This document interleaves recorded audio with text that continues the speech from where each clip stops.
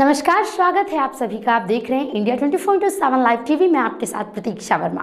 रुक करते हैं इस वक्त की अहम खबरों का। विधानसभा चुनाव से पहले उत्तर प्रदेश की योगी आदित्यनाथ सरकार नई जनसंख्या नीति लाने की तैयारी कर चुकी है। इस वक्त ड्राफ्ट तैयार किया जा रहा है, जिसे अगस्त के दूसरे सप्ताह में पेश किए जाने की उम्मीद है। इस प्रस्तावित कानून के तहत दो से अधिक बच्चों के पिता को किसी भी सरकारी सब्सिडी या किसी कल्याणकारी योजना का लाभ नहीं मिलेगा। इसके अलावा ऐसे व्यक्ति किसी सरकारी नौकरी के लिए भी आवेदन नहीं कर पाएँगे।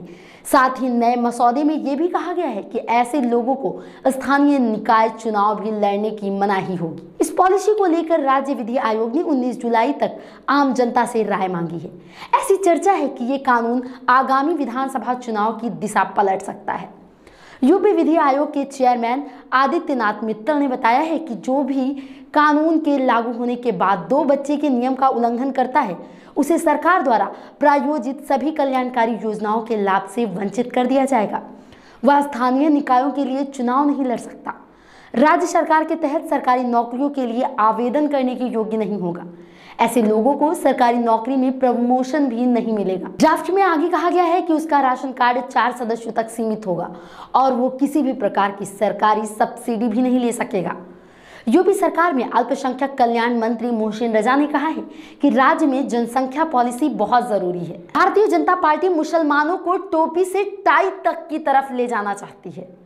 हमारी सरकार ने इस विषय पर जनता से भी राय मांगी है।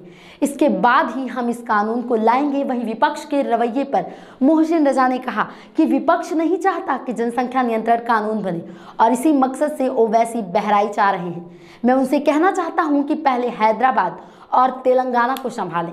और तुष्टिकरण की राजनीति करना बंद करें। सीएम योगी के जनसंख्या को लेकर जागरूकता फैलाने का संत समाज ने स्वागत किया है।